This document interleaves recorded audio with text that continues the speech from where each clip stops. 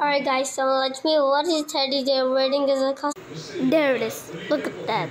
Looks like this cap and this shirt and this pant and this shoe. Like a... Ah! Ah! Okay, this is a teddy bear.